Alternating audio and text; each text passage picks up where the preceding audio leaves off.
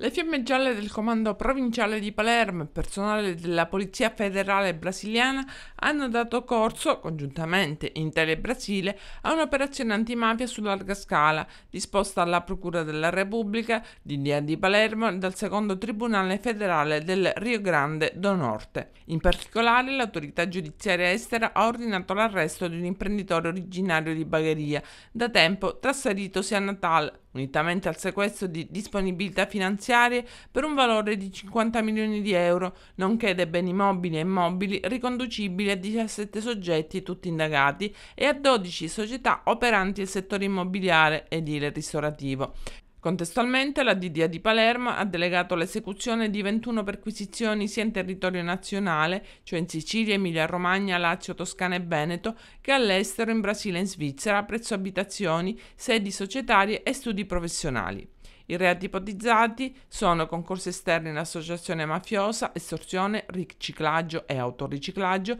trasferimento fraudolento di valori aggravati dalla finalità di aver agevolato importanti famiglie mafiose.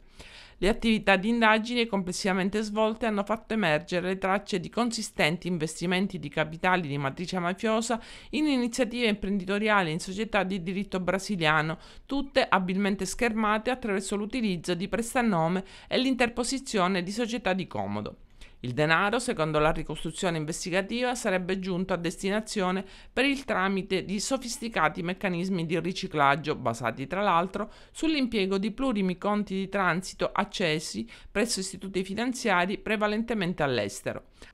Al vertice di questo sistema uno dei più autorevoli uomini d'onore palermitani, dal 2018 reggente il mandamento mafioso di Pagliarelli, sino al suo arresto nell'aprile del 2021, il quale sin dal 2000 avrebbe stretto un'alleanza d'affari con l'imprenditore bagherese.